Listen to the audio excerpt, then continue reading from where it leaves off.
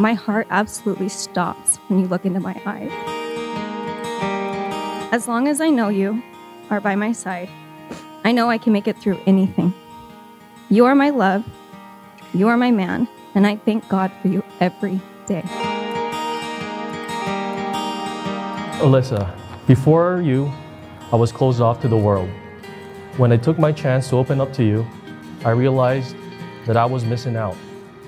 I realized I wanted to share an unconditional love for a special someone who's also a best friend that I can grow up with.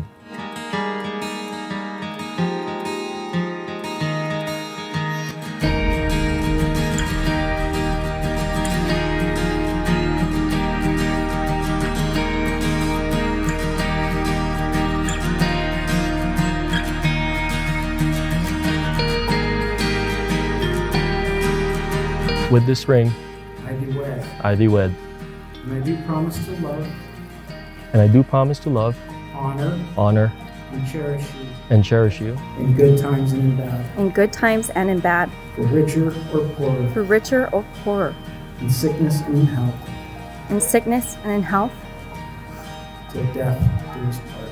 till death do us part. I'm here. Going to the bride.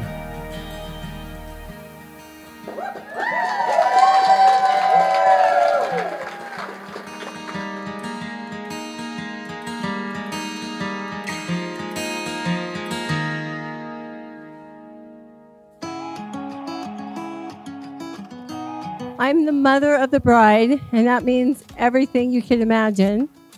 But I absolutely love you, Alyssa.